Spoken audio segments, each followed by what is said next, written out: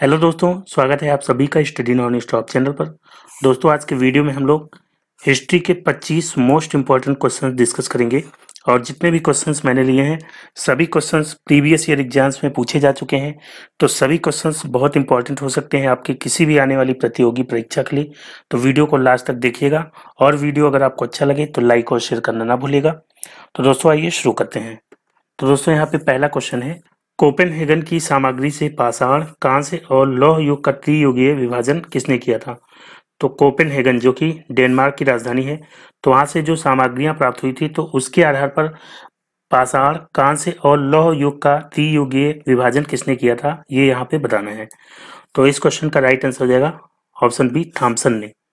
तो थॉम्सन इनका पूरा नाम था जर्गेंसन थॉम्सन तो इन्होंने 1820 ईस्वी में जो कोपेनहेगन से सामग्रियाँ प्राप्त हुई थी, उनके आधार पर इन्होंने पाषाण, कांस्य और लौह युग का त्रियुगीय विभाजन इन्होंने किया था। तो यहाँ पे बी ऑप्शन इसका राइट आंसर हो जाएगा। अगला क्वेश्चन है, उत्खनित प्रमाणों के अनुसार पशुपालन का प्रारंभ कब हुआ था? तो पशुपालन का प्रारंभ कब से माना जाता है बताना है। तो भारत में जो उत्खनन कार्य हुआ था, आदमगढ़, जो कि होशंगाबाद, मध्य प्रदेश में है, और इसके अलावा बागौर, जो कि राजस्थान में है तो वहाँ से जो प्रमाण मिले हैं तो उसके अनुसार पशुपालन के साक्ष्य मिलते हैं मध्य पाषाण काल में। तो यहाँ पे राइट आंसर हो जाएगा ऑप्शन डी मध्य पाषाण काल। अगला क्वेश्चन है, खाद्यान्नों की कृषि सर्वप्रथम प्रारंभ हुई थी। तो खाद्यान्नों यानी कि जो खाने वाले अनाज हैं, इनकी खेती सर्वप्रथम कब प्रारंभ हुई थी? तो खाद्यान्नों की खेती जो है, सबसे पहले प्रारंभ हुई थी नौ पाषाण काल से। तो यहाँ पे बी ऑप्शन इसका राइट आंसर हो जाएगा नौ पाषाण काल में। अगला क्वेश्चन है भारत में मानव का सर्वप्रथम साक्ष्य कहाँ पर मिला है? तो मानव का साक्ष्य जो है भारत में सर्वप्रथम कहाँ पे मिला है? तो मध्य प्रदेश के पश्चिमी नर्मदा क्षेत्र से मानव के साक्ष्य मिले हैं और इन साक्ष्यों की खोज कब हुई है? तो उन्नीस सौ बयासी में हुई है। ठीक है तो यहाँ पे राइट आंसर क्या हो जाएगा? यहाँ पे डी ऑप्शन इसका राइट आंसर हो जाएगा, नर्मदा घाटी। अगला क्वेश्चन है, मानव द्वारा सर्वप्रथम प्रयुक्त अनाज कौन सा था? तो मानव द्वारा सबसे पहले कौन सा अनाज प्रयोग किया गया था? तो यहाँ पे राइट आंसर हो जाएगा जौ। सी ऑप्शन इसका राइट आंसर हो जाएगा जौ। जौ जो कि 8000 ईसा पूर्व के आसपास भूमध्य सागर एवं ईरान के मध्य स्थित पश्चिमी एशिया के देशों में जो है, इसके प्रयोग के साक्ष्य मिले हैं। तो यहाँ पे राइट आंसर क्या हो जाएगा? जौ जो है, मानव द्वारा सर्वप्रथम प्रयुक्त अनाज है। अगला क्वेश्चन है, भारतीय उपमहाद्वीप में कृषि के प्राचीनतम साक्ष्य कहाँ से मिले हैं? तो अगर हम बात करते हैं भारतीय उपमहाद्वीप की तो यहाँ पे खेती के सबसे प्राचीनतम साक्ष्य कहाँ से मिले हैं?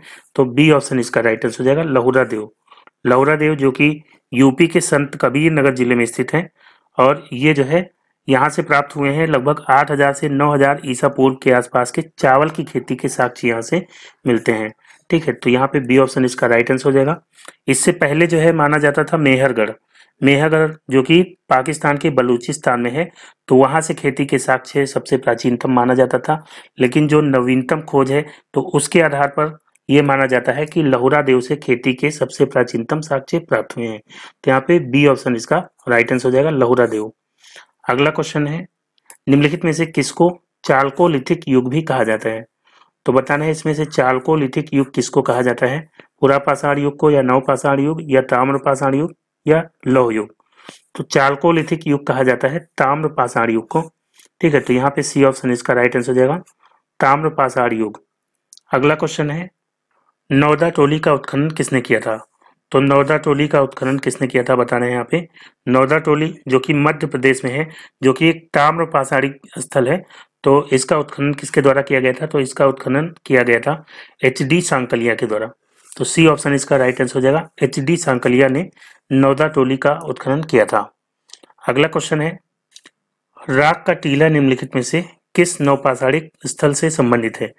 तो राग के टीले जो है, कहाँ से प्राप्त हुए हैं? तो ये संगन कल्लू से प्राप्त हुए हैं। बी ऑप्शन इसका राइट आंसर हो जाएगा, संगन कल्लू। ये जो है, कर्नाटक में मैसूर के पास वेल्लारी डिस्ट्रिक्ट में है, ठीक है? वेल्लारी डिस्ट्रिक्ट में है कर्नाटक में, जो कि नौ पाषाण कालीन स्थल है। तो यहीं से जो है राग के टीले प्राप्त हुए हैं। तो यहाँ पे बी ऑप्शन इसका राइट आंसर हो जाएगा, संगन कल्लू। नेक्स्ट क्वेश्चन है, भीम बेटका किसके लिए प्रसिद्ध है? तो भीम बेटका की गुफाओं की बात करते हैं। तो ये जो है मध्य प्रदेश के रायसेन ज़िले में है। मध्य प्रदेश के रायसेन डिस्ट्रिक्ट में ये जो है स्थित है, जो कि प्रागैतिहासिक शैल चित्रकला के लिए प्रसिद्ध है। ठीक है तो यहाँ पे राइट आंसर क्या हो जाएगा? ये गुफाओं के शैल चित्रकला के लिए प्रसिद्ध है। ए ऑप्शन इसका राइट आंसर हो जाएगा। और भीम बेटका गुफाओं की खोज किसने की थी? तो इसकी खोज की थी वी एस वाकंकर ने। वी एस वाकंकर ने इसकी खोज की थी। ठीक है, अगला क्वेश्चन है, निम्नलिखित में से किस स्थल से मानव कंकाल के साथ कुत्ते का कंकाल भी समाधान से प्राप्त हुआ है? तो मानव कंकाल के साथ कुत्ते का भी कंकाल कहाँ से मिला है? तो इसका राइट आंसर हो जाएगा option B Burzahom Burzahom जो कि जम्मू कश्मीर में श्रीनगर के पास स्थित है और यहाँ से जो है मानव कंकाल के साथ कुत्ते का कंकाल भी मिला है और यहाँ से गर्तवास भी मिले हैं। गर्तवास यानी कि गड्ढे वाले घर भी यहीं से मिले हैं। ठीक है? यहाँ से गर्तवास भी मिले हैं। तो यहाँ पे बी ऑप्शन इसका राइट आंसर हो गया बुर्ज होम। अगला क्वेश्चन है, भारतीय पुरातत्व का जनक किसे कहा जाता है? तो भारतीय पुरातत्व का जनक किसको कहते हैं? तो इसका राइट आंसर हो जाएगा option A Alexander Cunningham Alexander Cunningham जो कि ब्रिटिश सेना में सेना अधिकारी थे और ये 1861 में रिटायर होने के बाद इनको भारतीय पुरातत्व सर्वेक्षण का पहला महानिदेशक बनाया गया था। ठीक है, ये पहले महानिदेशक थे भारतीय पुरातत्व सर्वेक्षण विभाग के तो इसीलिए जो है इनको भारतीय पुरातत्व का जनक माना जाता है। ठीक है तो यहाँ पे ए ऑप्शन इसका राइट आंसर हो जाएगा। अगला क्वेश्चन है, राष्ट्रीय मानव संग्रहालय कहाँ पर स्थित है? तो राष्ट्रीय मानव संग्रहालय इसका अब नाम चेंज कर दिया गया है। इसका नाम क्या हो गया अब? इसका नाम है इंदिरा गांधी राष्ट्रीय मानव संग्रहालय। और ये कहाँ पे है? तो ये जो है, भोपाल में है। ठीक है? सी ऑप्शन इसका राइट आंसर हो जाएगा। भोपाल, मध्य प्रदेश में यह है राष्ट्रीय मानव संग्रहालय। अगला क्वेश्चन है, सिंधु सभ्यता संबंधित है। तो सिंधु सभ्यता किससे संबंधित है? प्राग ऐतिहासिक युग से, या आद्य ऐतिहासिक युग से, या ऐतिहासिक युग से, या उत्तर ऐतिहासिक युग से? तो सिंधु सभ्यता की बात करते हैं तो ये संबंधित है आद्य ऐतिहासिक युग से। ठीक है बी ऑप्शन इसका राइट आंसर हो जाएगा, आद्य ऐतिहासिक युग। आद्य ऐतिहासिक युग, इसमें जो है लेखन कला का ज्ञान तो था, लेकिन उसको पढ़ा या समझा नहीं जा सकता था। ठीक है, और ये कब से कब तक का माना जाता है तो ये जो है 2500 से लेकर के 600 बीसी तक का जो समय है, इसको जो है आद्य ऐतिहासिक युग में रखा जाता है। अगला क्वेश्चन है, सिंधु घाटी की सभ्यता गैर आर्य थी क्योंकि तो सिंध घाटी की सभ्यता गैर आर्य क्यों मानी जाती है, क्योंकि वो नगरीय सभ्यता थी, या उसकी अपनी लिपि थी, या उसकी खेतीहर अर्थव्यवस्था थी, या उसका विस्तार नर्मदा घाटी तक था। तो जो सिंधु घाटी की सभ्यता है, वो एक नगरीय सभ्यता थी। जबकि हम आर्य सभ्यता की बात करें तो ये जो है ग्रामीण सभ्यता थी। तो यहाँ पे राइट आंसर क्या हो जाएगा? ये एक नगरीय सभ्यता थी। ठीक है? ए ऑप्शन इसका राइट आंसर हो जाएगा। अगला क्वेश्चन है, हड़प्पा संस्कृति की जानकारी का प्रमुख स्रोत है। तो हड़प्पा संस्कृति की जानकारी का प्रमुख स्रोत क्या है? शिलालेख है या पक्की मिट्टी की मोहरों पर अंकित लेख है या पुरातात्विक खुदाई? तो हड़प्पा संस्कृति की जानकारी जो है, शिलालेखों से भी मिलती है। हालाँकि उनको पढ़ा नहीं जा सकता है, लेकिन शिलालेख वहाँ से प्राप्त हुए हैं। पक्की मिट्टी की मोहरों पर अंकित लेख प्राप्त हुए हैं और पुरातात्विक खुदाई। ये तीनों जो है, इसके सही आंसर हो जाएँगे। तो डी ऑप्शन यहाँ पे राइट आंसर हो जाएगा, उपरोक्त सभी। अगला क्वेश्चन है भारत में चांदी की उपलब्धता के प्राचीनतम साक्ष्य कहाँ से मिले हैं? तो भारत में चांदी की उपलब्धता के प्राचीनतम साक्ष्य कहाँ से मिले हैं? तो इसका राइट आंसर हो जाएगा ऑप्शन ए हड़प्पा संस्कृति से। हड़प्पा संस्कृति, इसमें जो है मोहन जोदाड़ो और हड़प्पा के लोगों के बीच में चांदी के प्रयोग के साक्ष्य मिलते हैं। तो ये अंदाज़ा लगाया जाता है कि ये लोग राजस्थान की जावर और अजमेर की खानों से चांदी निकालते रहे होंगे। तो यहाँ पे ए ऑप्शन इसका राइट आंसर हो जाएगा। हड़प्पा संस्कृति से जो है, चांदी की उपलब्धता के सबसे प्राचीन साक्ष्य मिलते हैं। अगला क्वेश्चन है, हड़प्पा में मिट्टी के बर्तनों पर सामान्यतः किस रंग का उपयोग हुआ है? तो हड़प्पा में जो मिट्टी के बर्तन प्राप्त हुए हैं, उन पर सामान्यतः किस रंग का उपयोग हुआ है? तो हड़प्पा में जो है, दो तरह के मिट्टी के बर्तन प्राप्त हुए हैं, जिनको मृद भांड कहते हैं। तो दो तरह के मृद भांड प्रयोग किए जाते थे। एक थे बिना डिज़ाइन वाले और एक थे डिज़ाइन वाले, यानी कि चित्रित मृद भांड तो जो चित्रित मृद भांड थे, उसमें जो है लाल रंग से उसमें पुताई की रहती थी, लाल रंग से पुते हुए होते थे और उसके निचले हिस्सों पर काले रंग से चित्रकारी हुआ करती थी। ठीक है तो यहाँ पे मिट्टी के बर्तनों पर सामान्यतः लाल रंग का प्रयोग किया जाता था। तो यहाँ पे ए ऑप्शन इसका राइट आंसर हो जाएगा। ऑप्शन ए, लाल रंग। अगला क्वेश्चन है, निम्नलिखित पशुओं में से किस एक का हड़प्पा संस्कृति में पाई मोहरों और टेरा कोटा कलाकृतियों में निरूपण नहीं हुआ है?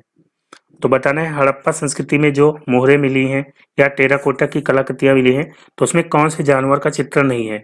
तो हड़प्पा संस्कृति से जो मोहरे प्राप्त हुई हैं या टेराकोटा कलाकृतियाँ उसमें जो है हाथी का चित्रण है, गेंडे का, बाघ का, हिरण का और भेड़ा आदि जानवरों का चित्रण वहाँ पे मिलता है, लेकिन गाय का चित्रण नहीं मिलता है।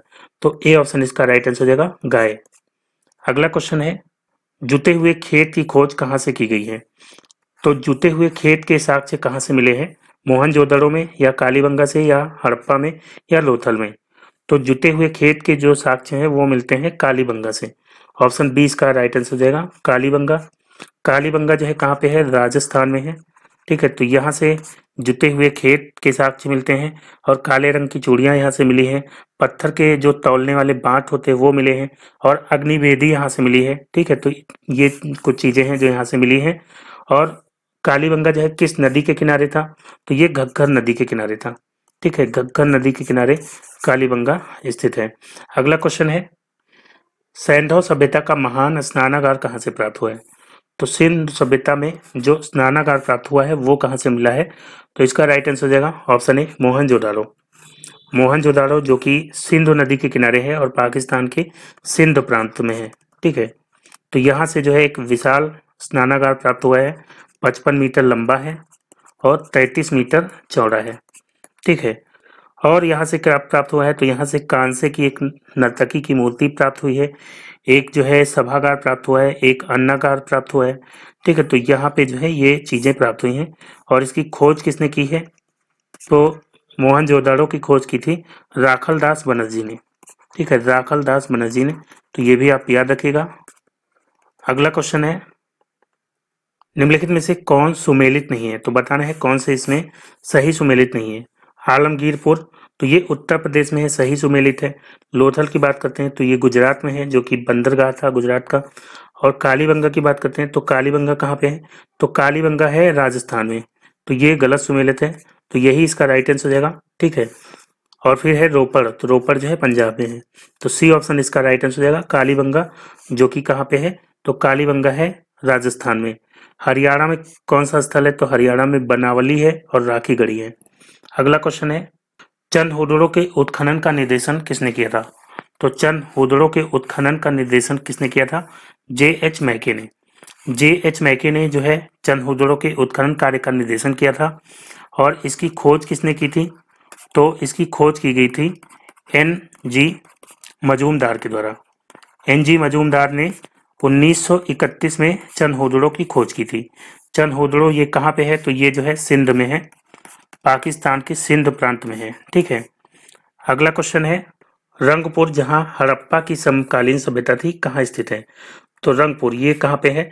तो रंगपुर, ये जो है सौराष्ट्र में है। सौराष्ट्र जो कि गुजरात में स्थित है। ठीक है? तो यहाँ से जो है हड़प्पा कालीन सभ्यता के साक्ष्य मिले हैं। तो इसका राइट आंसर हो जाएगा ऑप्शन सी सौराष्ट्र। अगला क्वेश्चन है, वो हड़प्पा नगर जिसका प्रतिनिधित्व लोथल का पुरातत्व स्थल करता है, किस नदी पर स्थित है? तो जो लोथल है, लोथल जो कि हड़प्पा कालीन बंदरगाह था और ये कहाँ पे था तो गुजरात के अहमदाबाद में भोगवा नदी के किनारे स्थित था। तो यहाँ पे इसका राइट आंसर क्या हो जाएगा? Option C Bhogava. ठीक है तो दोस्तों, आज का वीडियो यहीं तक रखते हैं। वीडियो कैसा लगा आपको, कमेंट करके ज़रूर बताइएगा। अगर आपको वीडियो अच्छा लगा हो तो लाइक और शेयर करना ना भूलेगा और जो दोस्त नए हैं चैनल पर, चैनल को सब्सक्राइब करके नोटिफिकेशन बिल को ऑन कर लीजिए, ताकि अगला वीडियो अपलोड होते हैं उसका नोटिफिकेशन आपको सबसे पहले मिल जाए। तो मिलते हैं अगले वीडियो में, तब तक के लिए good bye and take care.